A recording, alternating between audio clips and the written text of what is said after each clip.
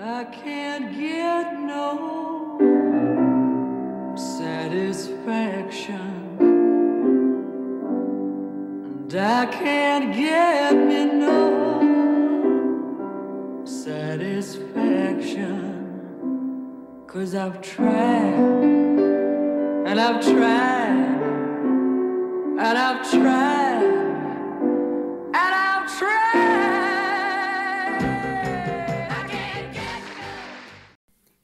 is for living. First off, thanks to all of you who heeded the poll call.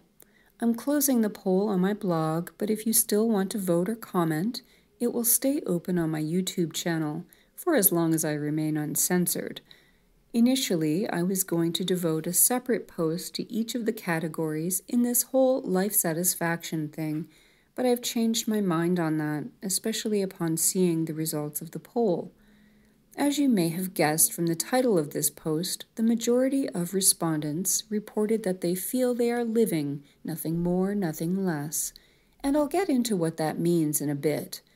But first, I want to give a little clarification on what this post is and isn't about. Life satisfaction, happiness, and quality of life. These are different but not necessarily unrelated things. Both life satisfaction and happiness are cognitive and emotional self evaluations, and thus completely subjective. The former is more of a long term feeling about one's status on several life factors, while the latter is an in the moment feeling that is both spontaneous and unexamined.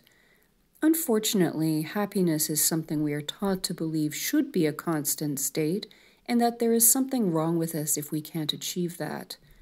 I wrote about happiness in my J is for Joy post, and I'm of the opinion that the pursuit of happiness is pointless and often leads, ironically, to misery and obsession. Quality of life is a little different. It can be defined using standard indicators, allowing for relatively objective comparative research across time and place.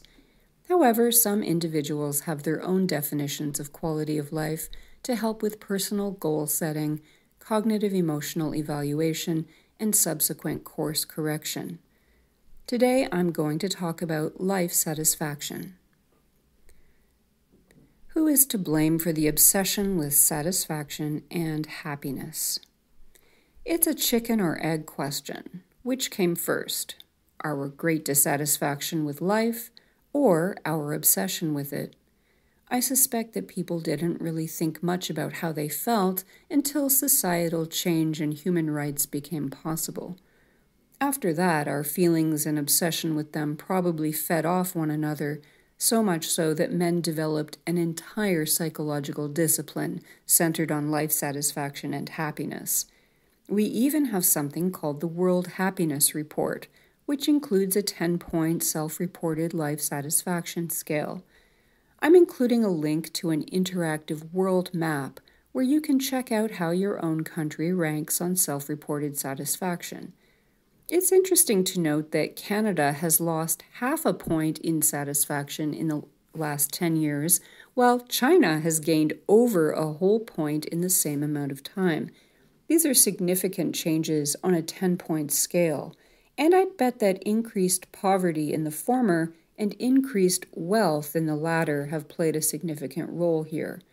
Anyhow, believers in this type of evaluation have even gone so far as to happy slap the dead, much in the way that TRAs have transified dead homosexuals. We're told, despite lack of evidence on what is wholly a subjective measure, that people were happier in the past, with some eras being more ecstatic than others. What a shameful abuse of authority to draw these impossible to draw conclusions.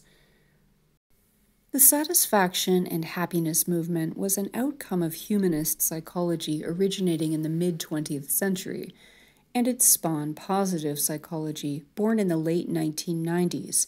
All I'll say about that here is that if you're interested in a host of rich mansplaining and obnoxious white dudes telling you what to do to achieve bliss, you can boil it down to this don't regret the past, be happy and grateful in the present, and be hopeful for the future.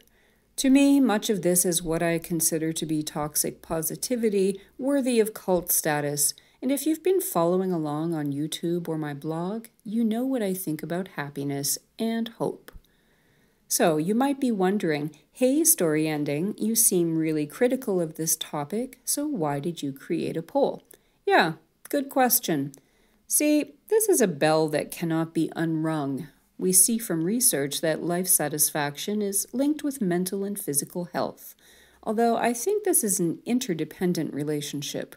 Being unsatisfied makes you feel unwell, and being unwell makes you feel unsatisfied with life. So there really is no way back to the acceptance of suffering and lack of change of the past. Us modern folk have grown up with the idea that having expectations to improve and change, and even being deserving of something better, are human rights. Measuring life satisfaction.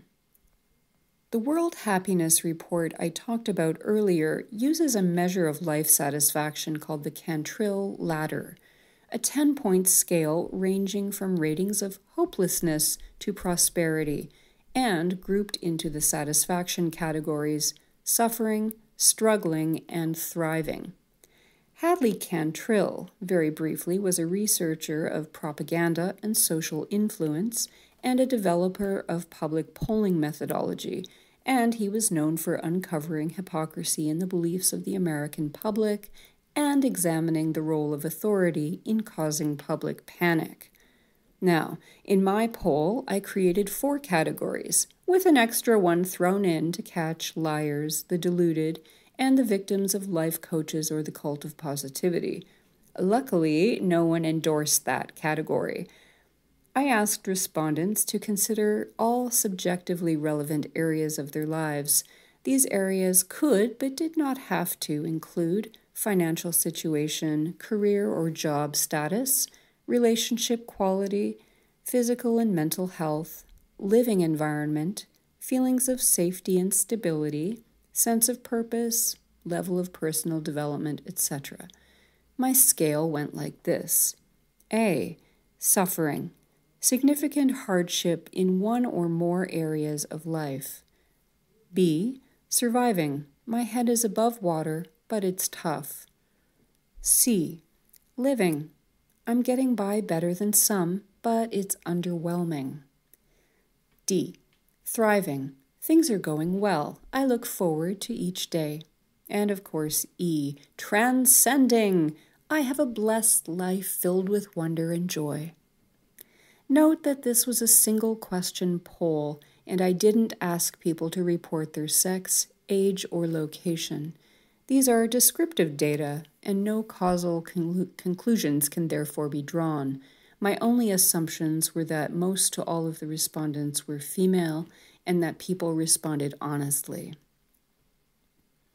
Living was the most endorsed category, and I'll talk briefly about what this could mean. By and large, women feel that they are getting their basic needs met. Things are okay or quite average, but perhaps they could be better. There may or may not be a lot of emotional satisfaction in the process of getting by and getting things done. I see the main differences between thriving and living as being anticipation rather than commitment to the daily grind, and a feeling of growth or forward movement rather than running in place. I didn't get any comments on this from thrivers or livers, but I'm happy to learn if I'm missing something here. Another thing I wanted to mention is that these are not fixed categories. As life is unpredictable, you can easily find yourself skipping around through your life with the possibility of experiencing all four scenarios. I myself have experienced all but a feeling of thriving, and the most terrifying thing for me is that you can go from living to suffering in the space of a month. Without personal experience, I can only imagine that feeling that you're thriving instills a sense of stability. I've never felt that before. Is there a so called thriving mindset? The quick and dirty answer is no. You cannot will or hope or pray yourself into financial success or excellent health. Conversely, being a realist or even a bit on the negative side won't magically destroy your opportunities or outcomes in life either. Sure, to some extent, we are all captains of our own ships, but a lot of you probably know damn well that you can do absolutely everything right in your life and still end up struggling in one or more areas. And while we might be able to work hard, eat well, develop great relationships, and stay active of our own free will, envisioning success or joining the unofficial cult of positivity is not a magic bullet that will take care of everything else. The yes answer that there is a thriving mindset was likely concocted by the psychotherapy and life coaching professions in order to make money off of blaming and shaming you for your lack of prosperity and getting you to sign up for an expensive course of treatment or goal setting programs. One of the worst pieces of propaganda slash pseudo intellectual malarkey I've seen out there comes from class A misogynist Friedrich Nietzsche. To live is to suffer, and to thrive is to find meaning in suffering. Again with the suffering, right? I swear men are obsessed with pain and suffering, as long as it's women who bear the brunt of it. The fact is that no one in the world has the one size fits all model for how to thrive. There are many factors involved, many of which are completely outside our control, and some of which are completely controlled by men. As a result, I think it is difficult for women to achieve a state of thriving in this world. Two major things we see over time and all over the world in the data on various measures of prosperity is that women as a class experience significantly more poverty and significantly more chronic health issues, especially depression and inflammatory diseases, than men.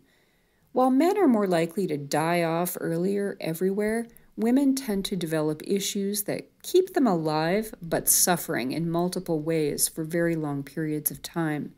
And this suffering has nothing to do with mindset and everything to do with being a long oppressed class of people. You just can't think or hope your way out of this. What I'd really love to see is all women and girls thriving in life. I'd like to see a world where experiencing challenges isn't a euphemism for suffering, but rather a process of working hard towards a goal and having it pay off in the end. I want a world where living a life doesn't mean just trying to get through it all only to find that there's nothing waiting at the end, but to enjoy each day for what it brings but that just isn't possible in a world of male dominance and their female suffering based systems of capitalism, we do it because we can, and survival of the fittest.